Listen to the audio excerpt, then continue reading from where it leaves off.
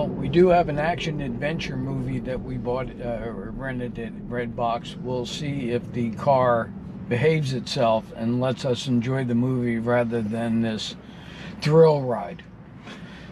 We'll just consider it like a just a normal Uber with a a reasonable driver. Johnny Cab.